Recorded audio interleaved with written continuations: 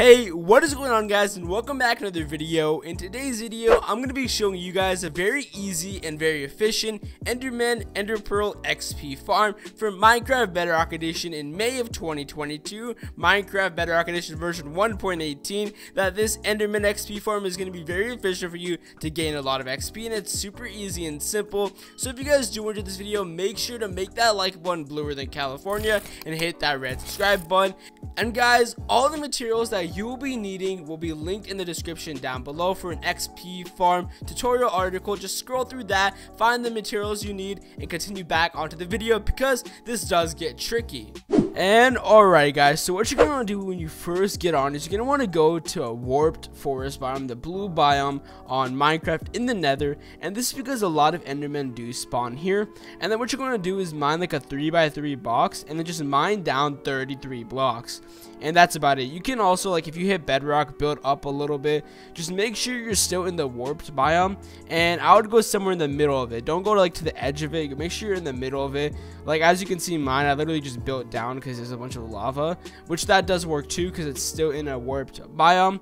And then basically guys, once you get down here, so once you make sure it's all flat and there's no case and you cover it up, choose a side and just mine two out. Again, since mine um is kind of like out in the open, I'm just gonna have to build it myself, which is all good. So guys, this is the little 2x2 area you're gonna be chilling at, and what you're gonna do is go to this side, right over here, and you see the area you're gonna be chilling at, you're gonna wanna mine two down now. Okay, we don't need that. We're just going to want to mine three down. And we're going to want to place a redstone torch and then cover it up and then place a redstone rail so it's activated. And then what you're going to want to do after that is get your normal rails and just go out like this and one out. So it should kind of look something like this and lead to your 2x2 like AFK area and you can extend this a little bit more if you need the extra room. So guys, I decided to extend mine one out just because I like it more like that. You don't have to, but if you like a little bit more room, you could do that. What you're to want to do after that is mine two out like this next to the redstone rails or next to the rails. And you're to want to place your two chests. You're to want to place two chests right there to kind of make it a large chest. And then obviously you're to want to just place a hopper connecting to the chest. And then you can cover this up right here. And guys, right here, you're want to do the same thing you did for that powered rail. So we're want to mine down three.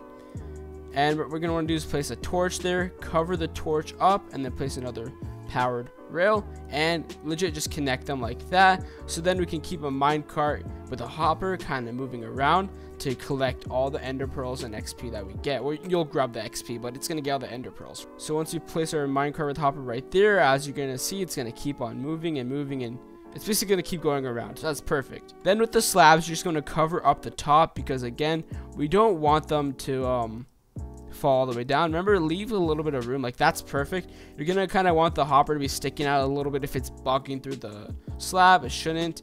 But there you go. That's what you're going to want to do. And then what you're going to want to do is place some torches, light up the area you're going to go AFK with. So once you get your ladders, you're going to want to go all the way up. And this is why I like Bedrock. You can literally just spam click it all and it will go right away. And boom, there you go. And you're going to want to cover this up with a trap door. So guys, now once you got all that done, you're to want to replace this border with a block Enderman can't pick up. So let's just do some cobblestone just to be safe. We're to want to change it a little bit. Make sure that they won't pick it up because what we're to do next is like a really important part. So you cannot skip this.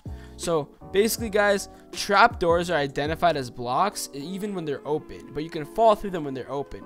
So what you're to want to do is place three trapdoors on each side so the endermen think it's a block and they will walk on it. And then you're just going to want to open it like that. And then do the same thing for these sides. You can only fit one in on these sides but it's all good. Let's make sure we place it right you know? And there we go guys. We finished the hoppers. Now this is the hardest part so make sure to watch carefully because i messed up on this one a lot so you guys got to pay attention. So what you're going to want to do is place a block in the middle. I just crouch clicked on the trapdoor and go three up. So one two three.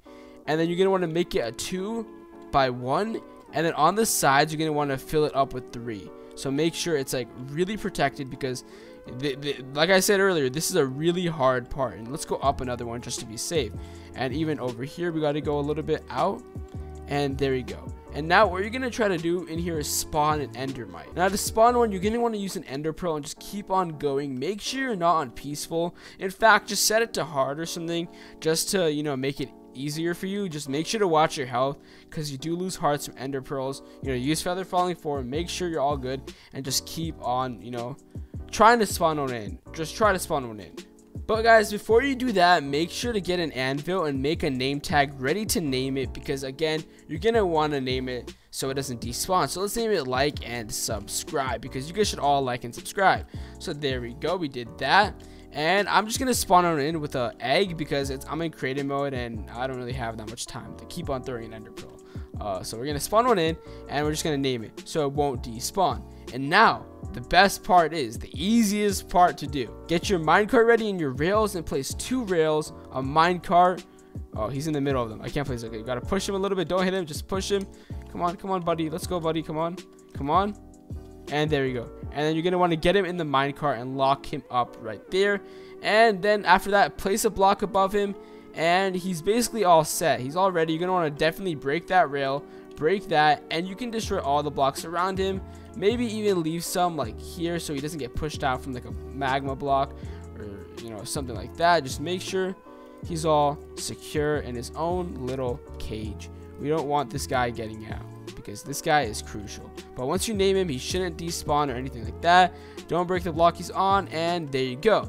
And now what this is going to do is this is going to attract Endermen. Endermen are going to try to come grab him, and they're obviously going to not know, and they're going to walk and fall. So make sure he's high enough for the Enderman not to like hit their head and get stuck on. You know what I'm saying, guys? So make sure it is high enough. You're going to want to make sure he's visible. Don't block him off make sure he is visible. So like that would be perfect and maybe a block above him. And basically this is how it's gonna work.